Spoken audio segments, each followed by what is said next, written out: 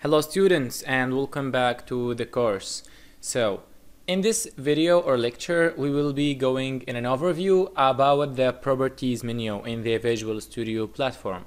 So uh, in the previous lessons we talked about the toolbox and the most important lessons uh, we talked about the solution explorer menu in this in this video or lesson we will be talking about the properties window which is one of the most important three menus or lists in the Visual Studio IDE or the Visual Studio platform.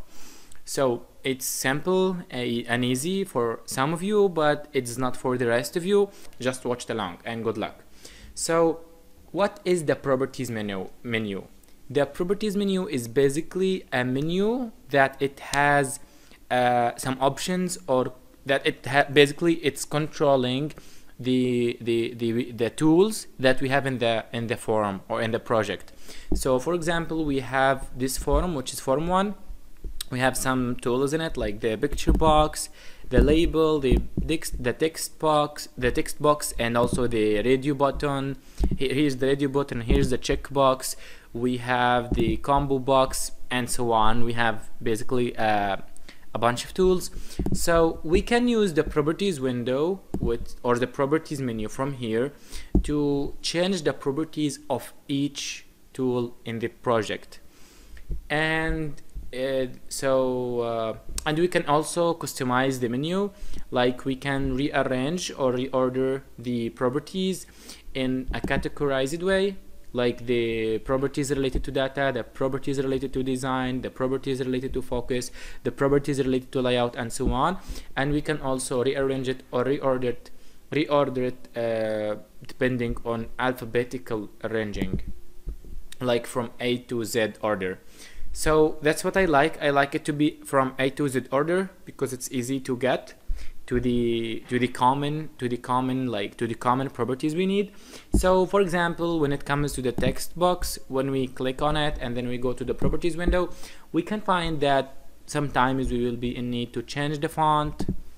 Like the font for example we can try it out. The font size the text box will get bigger because it it's expecting that the font inside the text box will be bigger so we can also change for example the cursor.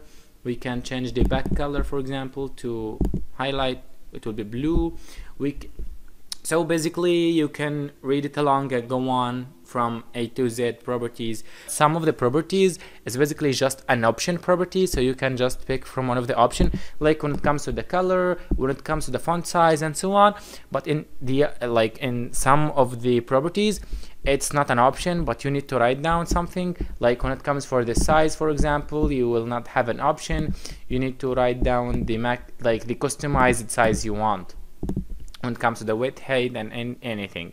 Also the tab index the location and some other tools. So that's basically what the properties is all about. It's just uh, controlling the tool the tools we have in the project their properties like their color font size font color font type uh, their positioning, their size, like their alignment, right, like from right to left, left to right, in the middle, and so on.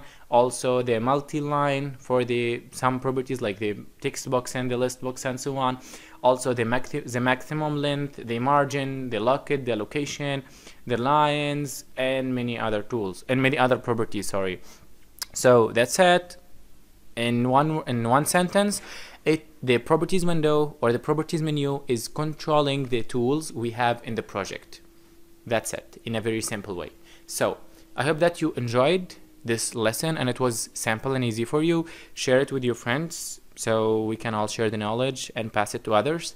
So thank you so much for watching and good luck. I wish you all the best and see you in the next lecture. Bye